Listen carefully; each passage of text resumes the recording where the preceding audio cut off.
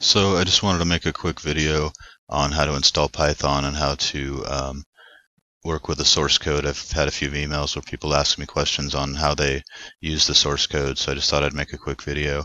So if you come here to the website under downloads and manuals, you can download uh, the source code here. So I've downloaded that and I have it on my desktop. Um, the next thing I would need to do is install Python on my computer. So you would come here to the Python page and then download and install Python. So go through the uh, install process. I already have it installed, so I don't need to, to go through any of this, but uh, you would just go through the uh, click Next and install uh, Python uh, 3.7 on your computer. The next thing um, you need to do is install the PySerial module, inputs module, and NumPy module. So to install modules in Python, you need to do that through the command window. Um, so we will open up our command prompt. And the first thing I want to do is come to the top, right click, and um, go to properties. And I want to click the box, check the box for use Control Shift V copy paste. So I'll check that and hit OK. And then the next thing I need to do is change directory. I need to change the directory to my Python directory. So if I come down here in my window and type in Python, I will right click that open file location and that will bring me to a shortcut and I will right click that and open file location on that and that brings me to where Python is resides on my computer. So I can click in this window and copy the address and then I will come in here the command window and type in cd for change directory space and enter in that directory. So now you can see the directory has changed to the Python directory and we're going to use the Python um, installer, the uh, Python package installer uh, known as PIP. So if you come to most of these package, um, uh, the websites for the various packages, in this case PySerial, you can see that it will give you a piece of code um, that you can use to install. So I will copy that, and that's just python-m pip install PySerial. So we'll go back to our command window, and I will paste that in and hit enter and it will tell me that um, it's already installed. Um, if you didn't have it installed, there would be a little window that would um, download it and install it right here.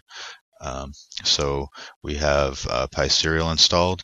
The next thing we want is, is PyInputs. So I'm just going to paste in the same piece of code, but change it from PySerial to inputs and this is what uh, supports the Xbox controller. And so I hit enter on that and same thing it's already installed. Um, but if it wasn't it would download and install it. And then I'm going to paste in the same piece of code and instead of PySerial again we're going to do NumPy and hit enter on that. And same thing again it's going to say that um, it is already installed. So with that, we have all of the modules installed. We have Python installed, so we can close that. And we go to our desktop, and up here I have the source code.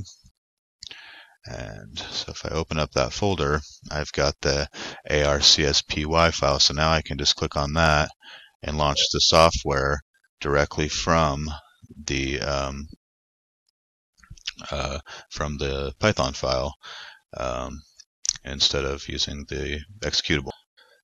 So with Python and the modules installed, you can see we can now open the um, the software, the ARCS software program directly from Python.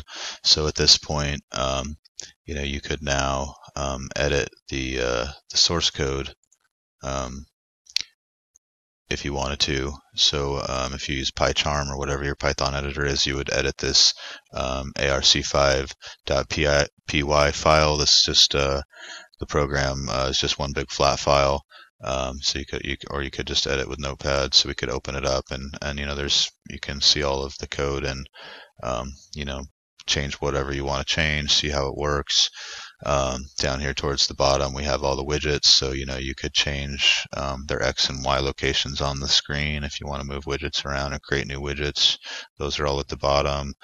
Um, there's also, you could, for example, just a quick example, obviously I can't go through a full Python programming tutorial here, but I can show you a couple things. Um, here um, we have a, hidden tab, tab 10. This was just for testing. I could uncomment that row and hit save on that. And now when we open the software, we're going to have an extra tab for testing. And this was just something I did to test sending uh, strings, testing communication. So I could, you know, put in a, a value here and send to the Arduino and the Arduino will echo it back to me. So I was just testing communications on this. Um, so there's there's that. Um, you know, and there's a, a, number of other things you can do. Um, you know, if, if uh, you go to the bottom here, I've got this uh, code commented out. Um, I could uh, copy that piece of code there, and then if I wanted to, for example, see what the Arduino is sending me back, I could uh, copy that in. So if I go up to, let's go here to, uh, let's say the joint one for jogging in the positive direction, um, we send a serial command. Um, out to the uh, Arduino, and then we uh, we read it back in as uh, this value uh, robot code. So if I wanted to see what that robot code was, I could come in here. I could paste in the manual entry field code, uncomment it.